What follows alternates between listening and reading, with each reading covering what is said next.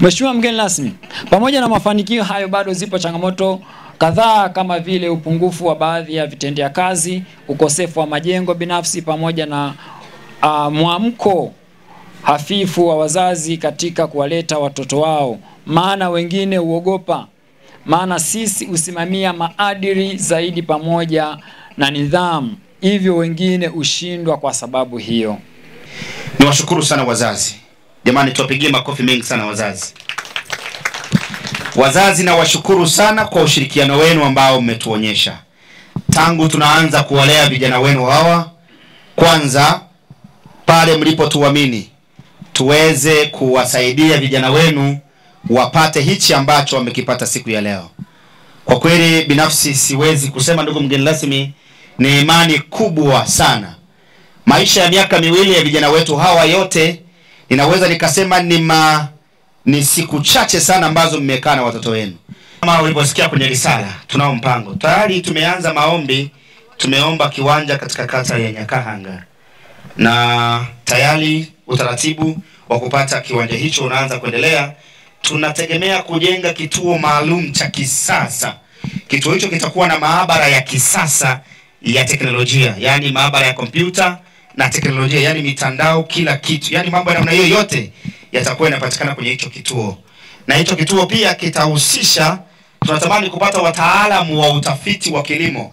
Tunataka tuwa, tuwe na utafiti wa kilimo kwenye wilaya yetu ya Karagwe, tupate wataalamu wa kilimo hapa ambao watakuwa ni watafiti na kwenda kuwashauri wakulima, hata pia vijana wengine wakijiunga, hali hiyo itakuwa inapendeza. Kwa hiyo tunakuwa mgeni rasmi, hili ulisukume ili tuweze kuhakikisha kwamba eneo hilo tunalipata moja kwa moja tunalimiliki, ili sasa tujenge kituo hicho ambacho kitawasaidia vijana wengi wa hapa wilayani Karagwe.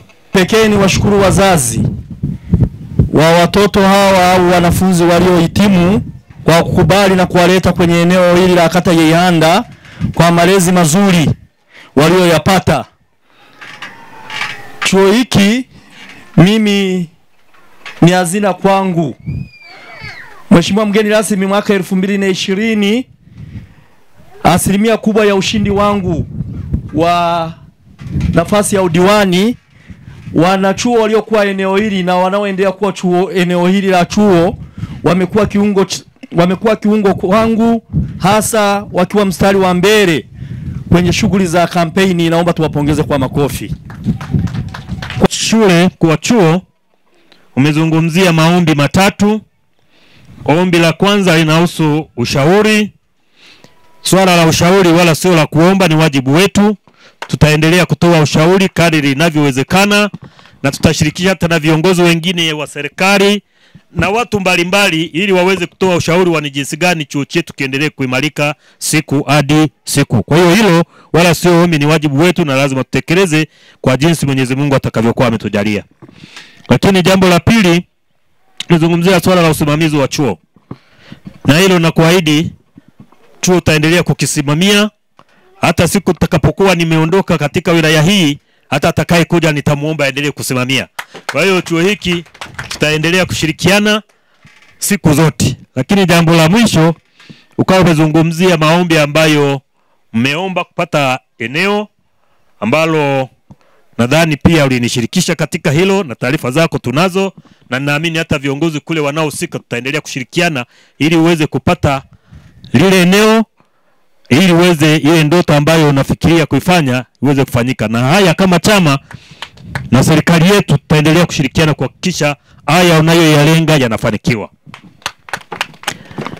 Na mimi sasa kama shuhuda ninawapongeza kwa kazi nzuri mnazozifanya, ninawapongeza kwa nidhamu mnayoionyesha katika shughuli zenu ndani na nje kwenye jamii. Mnafanya vizuri na nawatakia heri. Mwenyezi Mungu aendelee kuwabariki, msibadilike.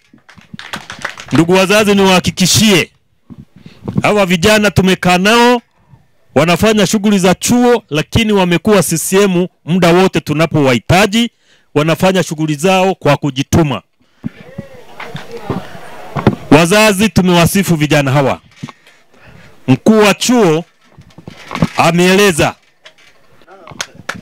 lazima mlioko hapa na watakaonisikia kule, lazima tuwalee watoto wetu katika misingi mema, misingi ya maadili, misingi ya dini, ili vijana waweze kufanya vizuri.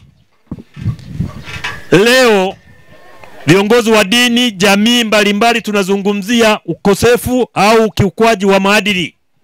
Vijana wetu wengi wameharibika, vijana wetu wengi wamejihusisha na mambo ya ushoga, mambo ya jins, nini wanaita ndoa za jinsia moja, mwanaume anamoa mwanamume, mwanamke wana, ana, anaolewa na mwanamke, watoto wanalauchiwa vitu vya ovyo. Wazazi lazima tushikamane. Tunapoona viongozi au walimu ambao wanalea watoto kwa misingi mizuri, watu wengine wanakwenda, mtoto wangu anapigwa au anaenda polisi, sio sahihi. Kwa hiyo lazima wote tushirikiane. Leo tunapowasifu vijana hawa, nyinyi wazazi mmetoa mchango mkubwa, kwa sababu wale ambao waliona watoto wao wanadekezwa hawakuendelea. Leo ambao walilelewa kwa misingi ya ukali, ndio maana wanafurahi na sisi tunawasifu. Kwa hiyo lazima wazazi, popote tulipo, tushirikiane na walimu wetu, ziwe shule za msingi, ziwe sekondari, vyuo vyuo, iwe nyumbani, iwe makanisani, popote pale. Tushirikiane, hata na serikali na vyombo vyote kuhakikisha hawa watoto wetu tunawalea katika misingi mizuri, ndio tutajenga taifa letu la Tanzania lenye amani, lenye upendo na mshikamano. Tumaini yangu ninaweza kupata ma, nina malengo makubwa mbeleni na ninafikiri maisha yangu yatakuwa mazuri kwa nidhamu niliyopata siku ya leo na siku zote ambayo naendelea kupata kwenye chuo hiki. Na wasii nyote ambao mjafika hapa na wasii na wazazi wote mkalete wanafunzi wenu hapa. Hapa kuna malezi bora, ninashukuru sana.